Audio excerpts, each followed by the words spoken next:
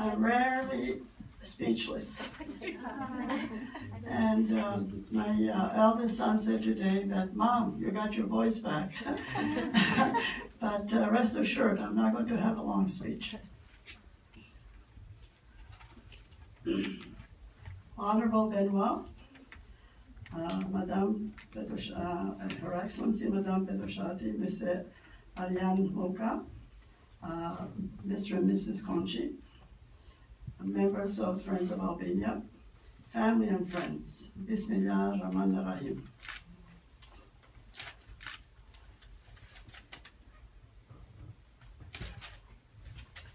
To be given this award in the heart of my beloved Canada, I think I have the wrong, one moment, please. Uh,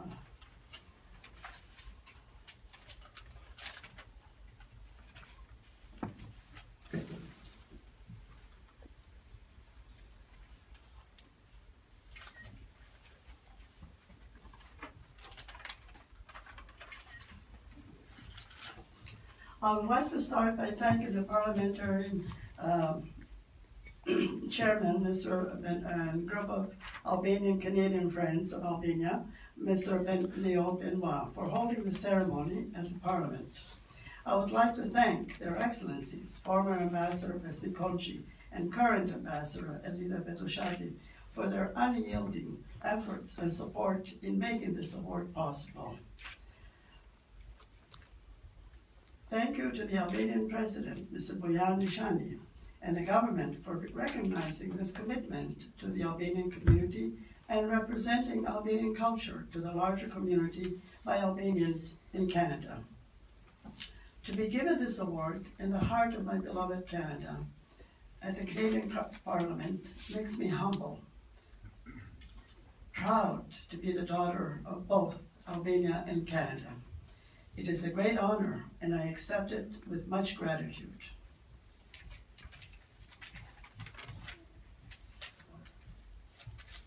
I returned to Halifax for my niece's gradu Nora's graduation. While, while there, I visited Pier 21. It was there that on March 31st, 1952, that I arrived as a child with my parents and my late sister, Numturin. I returned as a grandmother 62 years later. It was a very emotional visit. I was once again the refugee child, that refugee child, looking up at my parents and sister on the dock.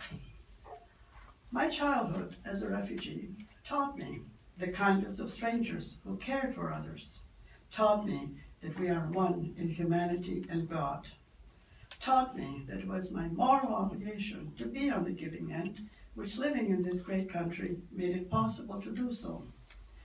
I would like also like to say that this award is a tribute to all Albanians, especially to my parents and the early pioneers of the North American Albanian communities.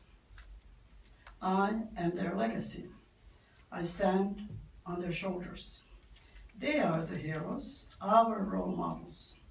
For whatever reason, they immigrated to Canada, United States. They never lost their identity as Albanians. They were honorable citizens of their adopted country and contributed greatly to its well-being. They preserved the Albanian language, traditions, and cultures, values. They built Albanian churches, mosques, monasteries, schools, supporting one, an one another with the fundraising in building institutions. Founded two well-known newspapers, Dielli and Vatra, which are still published. They held parades for the national holidays of Albania and their adopted country, had annual picnics and other events in celebrating their heritage. But most importantly, they instilled in their children to have pride in being Albanian, not only in words, but by example. That you can be of service of both countries which you belong to.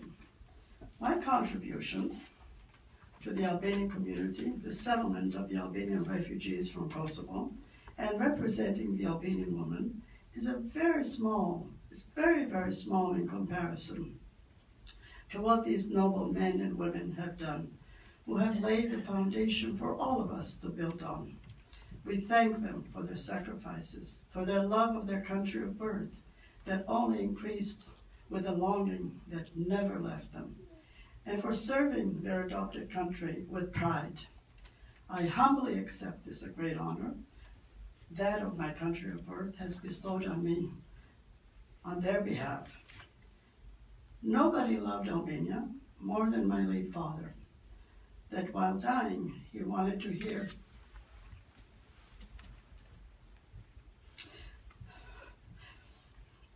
Well, forgive me, but it's very emotional.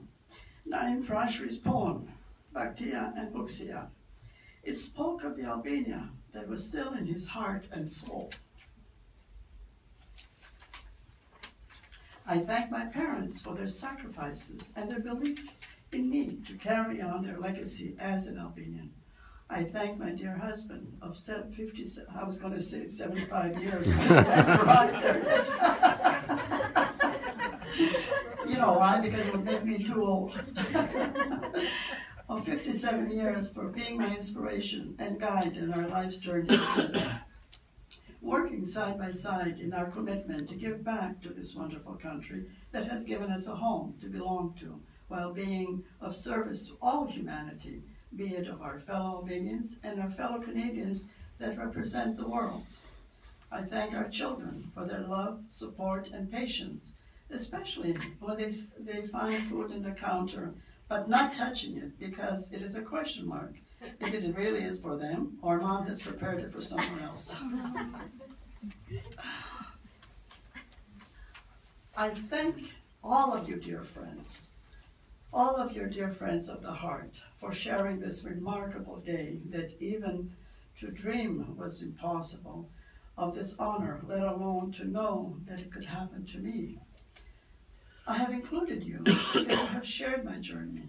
Your contribution, along with that of my family, has shaped me in the person that I am today. It's not only those who went before us that matter. The Albanian legacy belongs to the youth, for their, they are our future as representative, as Canadian Albanians. I'm going to read, um, uh, which describes this very well, um, an email sent to me by a young man, um, Dr. Muharrem Kianif. He is a law professor at Windsor University. And uh, I had included him in my uh, invitation list, but unfortunately couldn't come because he couldn't get a ticket, uh, train ticket to, to come uh, this Thursday. Okay, I think it is here. Ah, I found it. Um, dear Zonyashano, uh, he, he's a grandson of a dear, dear friend uh, late, uh, who has died many years ago, but uh, he's also the namesake of this grandfather, whom we all love very much, and um, he will never be forgotten. Dear Zonyashano, this means Dear Madam Shano, many thanks for thinking of me as an invited guest to this most special occasion. I did receive the invitation yesterday and hope to make it for the ceremony tomorrow.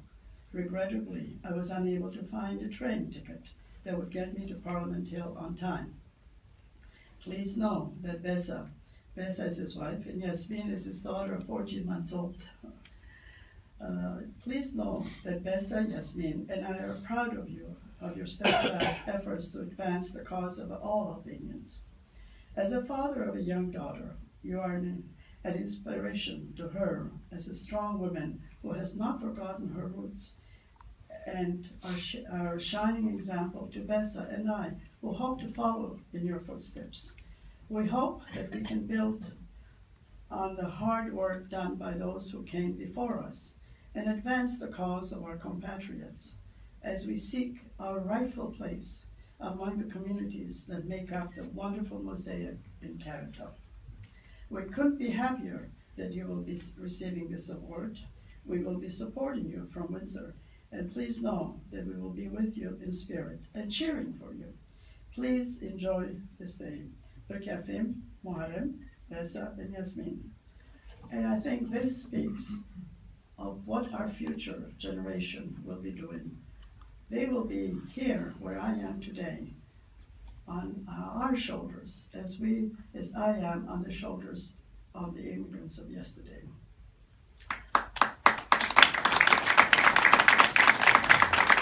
If you allow me just, uh, Mr. Conchi, just one second, no more. I, uh, I would like to say, uh, today uh, we have, you're all special, remember that. I'm a mother, I can't say one's more special than the other. But uh, we have a very, very special guest who, our friendship has gone more than 50 years. And we have shared so much together. We're both Albanian, but she is American Albanian, born in America. But we both have always identified as Albanians. And she's come here for the ceremony uh, from Detroit. Come on, come on, Marion, come on, dear, come on, come. Okay, yeah.